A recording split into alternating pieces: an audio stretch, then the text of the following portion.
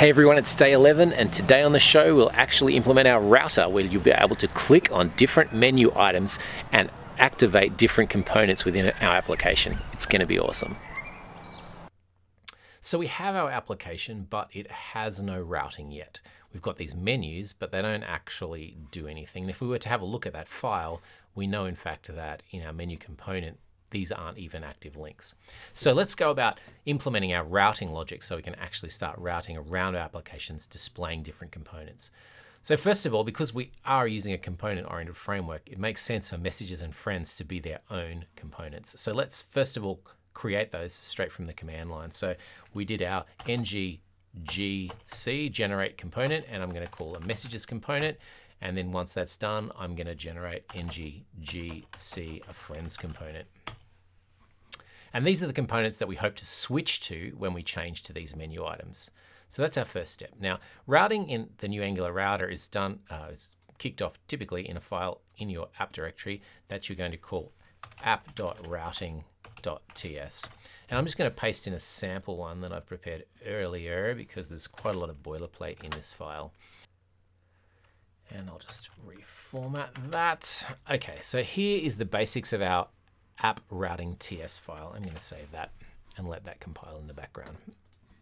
So in our app routing TS, we specify the routes and the components they'll go to. So when the user is going to type in slash feed, now you notice we don't prefix it with a slash, it goes to a feed component. When it goes to friends, a friends component, messages to our messages component.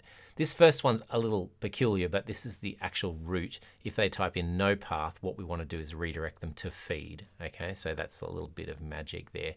Now, once we've defined this routes array in our app routes, we then have to tell our module about it. So our next step is to actually import this into our module. So if we go into our app module, we'll just import this routing and our routing provider, and then we'll actually import our routing here. Oops, routing, and then in our providers, we'll put in our routing providers, which is called app routing providers. Okay, so we've updated our module to tell it about the routing for this module. We now have an actual routing module that specifies what paths go to what components. Our next step is to actually start doing some work with our HTML. Now in the root of our application, we displayed a menu component and a feed component. Well, that's not going to work anymore because depending on what you select in the menu, we have to switch between what component we display here. Now the router handles that by providing a new element called router outlet. Now this is the part that the router uh, is going to uh, dynamically substitute based on the path that you're navigating to. So if you're going to go to slash feed, it's going to substitute this for the feed component. If you're going to go slash messages, it'll substitute this for the messages component and so on. So that's all in there. So the last really piece of the puzzle is in our menu component itself, we need those links that currently don't do anything to actually point to different links in the router. And the way that we do that is through a router link element. So in our home, we've presently said this is the active item. We can't actually force it to be the active item anymore. We want that to be dynamic based on the path they're typing in. So there's a new router link element that we can put in here, which says take it to the feed route and, and work out where that goes and, and substitute that into our component tree where you need to. And we need we can also set a router link active style element. So this is what styling do we want to apply when we actually route to that link. And in our case, that's going to be uh, active, which is the CSS style that um, denotes that this menu is the actual selected one. So let's just kind of copy and paste our way through these guys.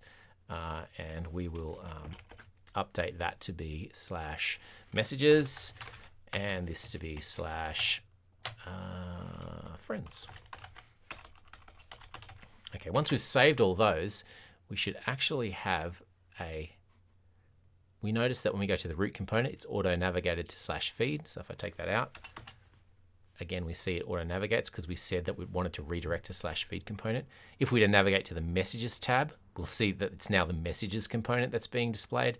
And if we went into the friends tab, we'll see the friends component is now being displayed. And that was just the template text that we generated when we did our ng generate component. Of course, the HTML just had the body of whatever the component name was. So we've now actually got a working menu that has home, messages, and friends. Tomorrow at the show, we're going to uh, make things a little bit trickier in the router by being able to do deep linking. So I don't want to just go to friends. In this case, I want to go to friends Joe or friends Mary and deep link into that particular point within the friends component. And we'll talk about how you can pass those IDs into that component and how you can resolve them at runtime. So that's going to be fun.